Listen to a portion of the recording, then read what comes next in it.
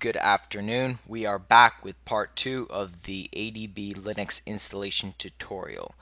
This tutorial is going to assume you have already done all of the steps in part one and simply want to add ADB to your file path.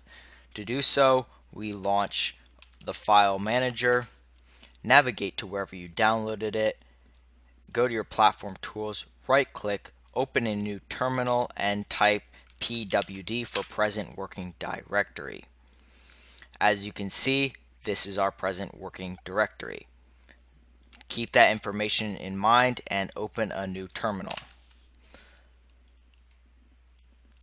With this new terminal, you want to type the following. It does not matter which folder you're in, so we'll just simply go here, sudo for super user do nano, which opens the default um, text editor and then which file we're going to open. So squiggly slash dot bash rc. Type your root password and scroll all the way down to the bottom. As you can see, these two additional lines you will most likely not have.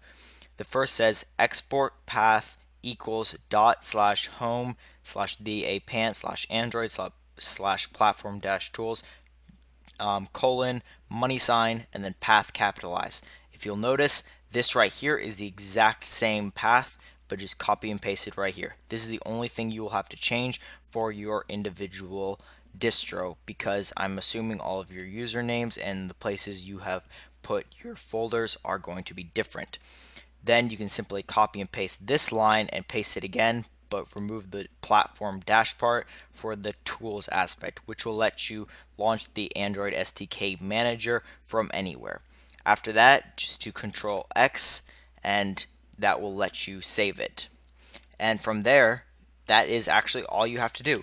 You can type Android and the Android SDK manager will pop up or you can type ADB devices and your ADB devices will come up everything can be accessed from any terminal in any folder. And that is it for today. Thank you for watching and have a nice day.